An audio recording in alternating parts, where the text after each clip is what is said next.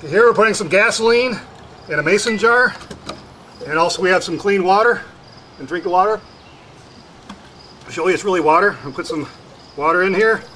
And we're going to go with about 75% water, 25% gasoline as our fuel.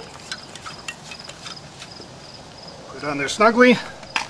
And see what we got here.